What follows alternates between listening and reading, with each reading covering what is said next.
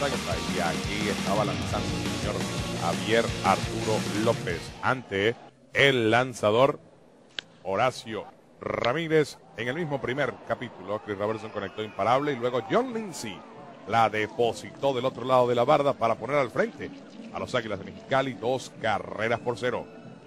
Transcurría el juego de béisbol y en el tercer episodio un cuadrangular del señor Cristian Villanueva descontaba para la causa de los Yaquis de Ciudad Obregón. Se alegraban las tribunas, pero en el cuarto capítulo, sencillo de Josh Weissel y cuadrangular de Ricardo Serrano, ponía la pizarra 4 por 1 en ese momento favorable al equipo de los Águilas de Mexicali. Y veíamos cómo chocaban las muñecas con el Chevale y anotaban las carreras. Un poco más adelante, este batazo por parte del señor Said Gutiérrez se ponía en circulación Gutiérrez y traía una rayita para descontar por parte del equipo de los Yaquis de Ciudad Obregón. Seguía también la ofensiva de este equipo de Mexicali que hoy batió 18 imparables conectando.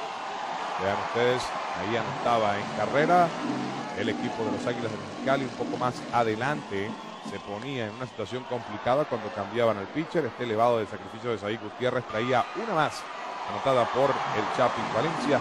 Sucedía en el sexto capítulo. Ahí anotaron dos los Yaquis. Hicieron cuatro rayitas en el juego del día de hoy.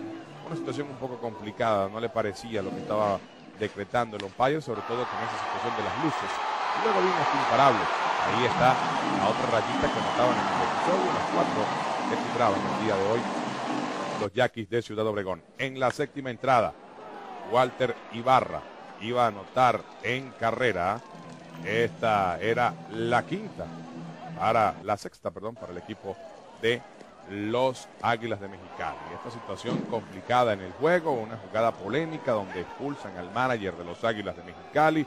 Vean ustedes ahí cuando hay la consulta entre los umpires, luego revierten la sentencia y el señor Jair Fernández no soporta lo que le estaba ahí explicando y también reclamando con autoridad Juan Gabriel Castro y se acaba entonces la situación el día de hoy, lo manda a las luchas y el señor Francisco Rodríguez muestra ahí su amor por la camiseta, diciéndole a todo el mundo estamos vivos, vamos para el vino de los águilas, ellos jugarán el día jueves.